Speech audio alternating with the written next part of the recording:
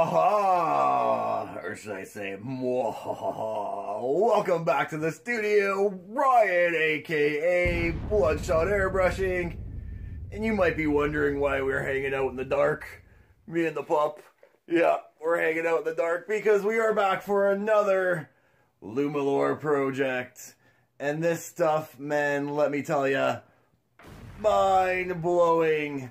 Let me get the lights back up on in here and we can chat about this a little more in depth. That's better. Now you can kind of see what we are working with. We've got a gas tank, well actually two gas tanks as it is split right down the middle. And we've got the LumiLor already applied. It's been cleared.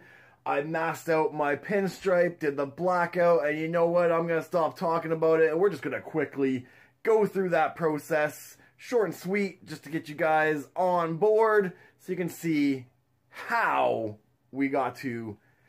And stay tuned because what we tackle next is going to blow your mind. And the first thing you're going to need to do is encapsulate it in a layer of clear and then wet sand that clear and test for conductivity. Now here you can see I've got it all masked for the first layer of backplane. I even took a bit of extra time to mask the exterior edges of the next few layers just to save some masking time in the booth. And onto the booth we go, where we've got proper ventilation, and I do recommend wearing a respirator when we get into these paints. And here you see the first layer of our backplane, our conductive material being applied. And we will do two coats in a cross hatch manner. So each coat will actually have two passes done in the opposite direction. And once that's flashed, you can peel it. And as you've seen, as I said, got those layers sort of pre-masked just to save some time. And now we're going in with our dielectric, which is again applied in two even coats consisting of two passes, each applied in opposite directions. And once you've got the dielectric, you are ready for the Lumacolor. Now this you must spray with a black light as you see, this will help to keep your coverage consistent as you go.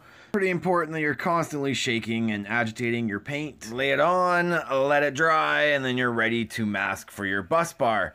Now it's important that your bus bar doesn't touch your back plane, so you need a minimum of 1 8 inch between the two, and then in order to get your paint to light up, you need one third the volume and applied into Coats much the same. Let her dry, test for ohms, attach your wires, and then attach those to your power source.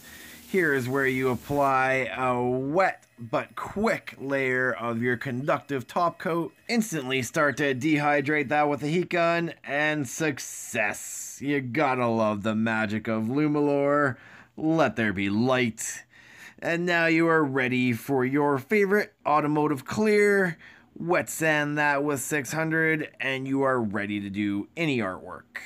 Bada boom, bada bang, light it up, let it sing. And back from clears and ready to be masked for our first layer of paint. Now, this LumiLor surface, especially when you're first learning it, you can get some uh, some inconsistencies. So we're just going to cover that up with a little bit of Auto Air Pearl White. Now this is a water-based acrylic, and once we get it flowing, two consistent coats ought to do. Now do notice I'm doing all my passes in a sweeping motion. I'm allowing that paint to blend out and fade to my edge so that when I do my next pass, I'm blending back in. And this will give you nice consistent coverage as you go along. You don't want to build up that paint too heavy in one area because that light still has to fight through consistently. That's the goal. All right, now that we got the pinstripe laid on there, we've got the Bloodshot signature and the LumiLor and the year laid on there.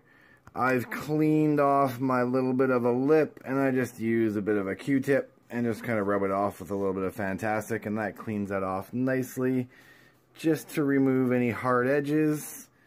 So the next stage is, you can see when it's on, it's blue. When it's off, it's gray. So I got to continue that gray into the area of the pinup girl. And I'm going to black out the rest just up into this line right here. And then we can start tackling the artwork. And there you have it. We've got the black sprayed with our pinstripe saved for the LumiLor. Now we've got the copper revealed so that we can spray the gray, kind of like that. And once the gray is all good and dry, we can peel it and we are ready to spray the skulls. It's a process. It's a bit of a process, but we're getting there. And there you have it, gray done. We can still see our pinstripe tape, which is holding its own, keeping that pearl white nice and bright. You can see the logo as well, which we will come back in in the later process to tighten up. But you can kind of see where we're at. But I did promise you something that would blow your mind. So let me kill the lights and let me show you what I'm talking about. And what did I tell you? What do you think of that? Pretty trick, eh? So in the daytime, basically, you're really only going to see her face. And then at nighttime, once you kick the light on, you're going to have the full-on Grim Reaper. Now, this is actually the third iteration, and this is only a test panel. But how cool is that? now the challenge is to reproduce this onto those. Good thing we did a test panel. I always recommend a test panel. Alright, let's spend a minute or two just chatting about this test panel and why I did a test panel. Now, I think it kind of speaks for itself in the fact that I had to do it three times before I found something that actually worked. Now, with that being said, it wasn't the girl that was the difficult part. She was actually pretty easy. As you can see, it was just done with some transparent colors just a white and a gray using our gray LumiLor and skull as a base. Yep, there's a skull under there. Now, my first attempt, and the reason why it was such a failure, was because when I first tried to spray my skull, I used just white. I thought if I wanted a base for my face for the chick, that white would be a good base problem with white is it just didn't have the coverage power. So I had to lay on so much of it before it started to actually black out and hide the light. So the light would no longer fight through it. Problem one. Now, had I gone further, I would have found some more problems with using just white. Um, the thing that I've also learned is what I've been doing predominantly is I've been using just this test panel that has been cleared. I've been painting on top of it for test panels, wet sanding it off, painting on top, wet sanding it off. Now I only have so many layers of clear on this before I'm going to have to get this surface re-cleared to save me from sanding through the LumiLor. Well, moving to these transparencies is definitely the key. Now these can be sprayed right over top. As you can see, I've actually got one taped down. Rather than spraying over top of the LumiLor, I'm just spraying on top of these transparencies. So that was my second lesson learned. And the third one, and one that I'm actually going to allude to right here is you can see I tried to scratch with my X-Acto knife a bit of an edge. I was just seeing what I could do. Test panel. I also did the same thing with my lightning. Scratched it out.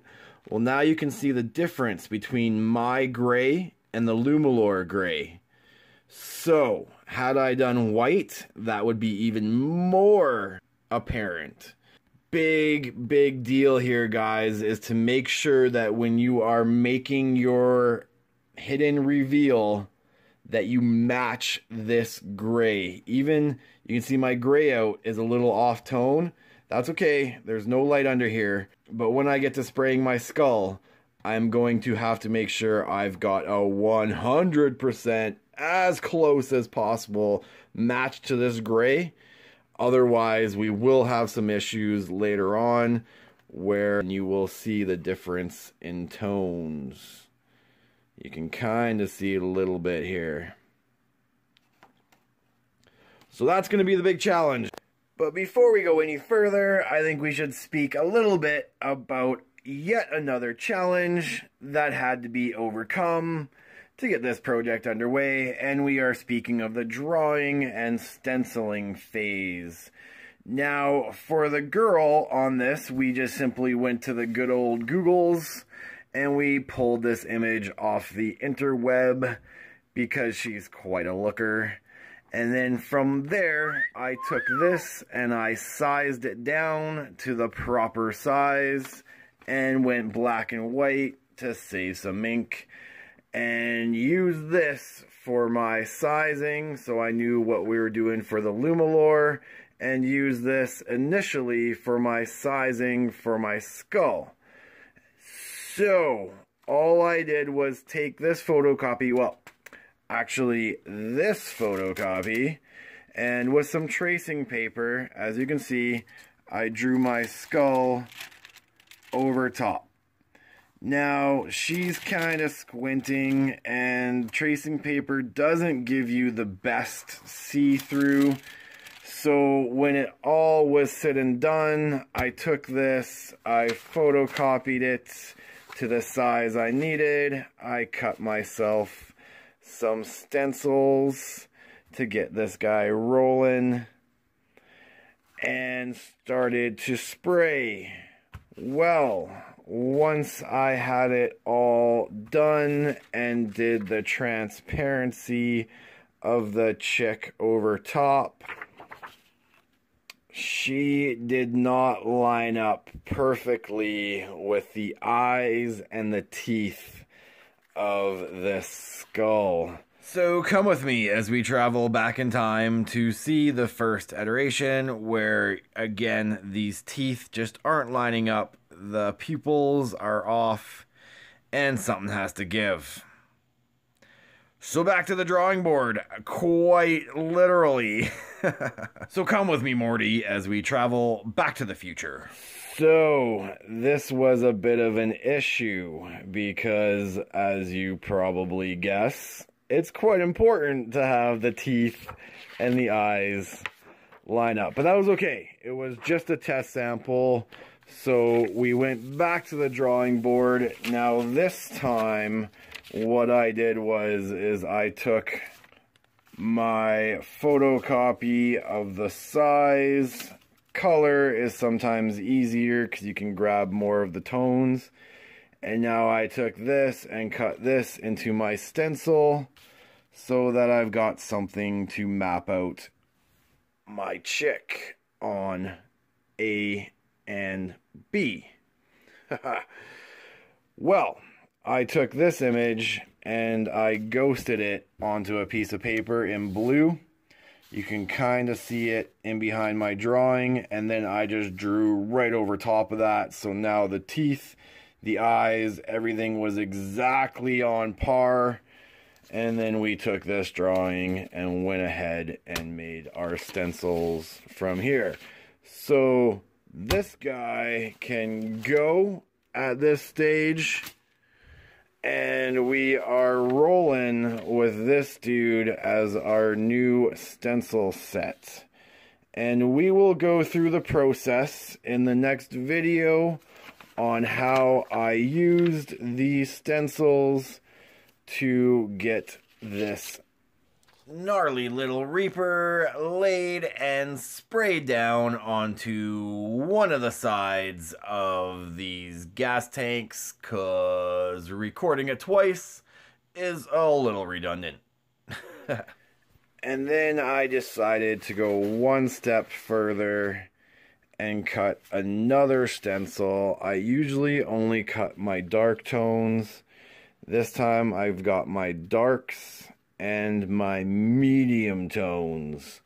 So this guy is going to be more sprayed in to really get some defined black edges.